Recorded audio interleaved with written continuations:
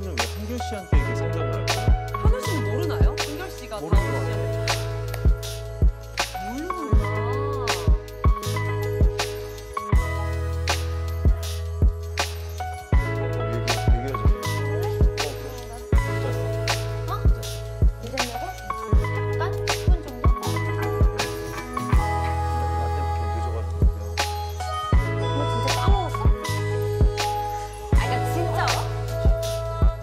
같은 데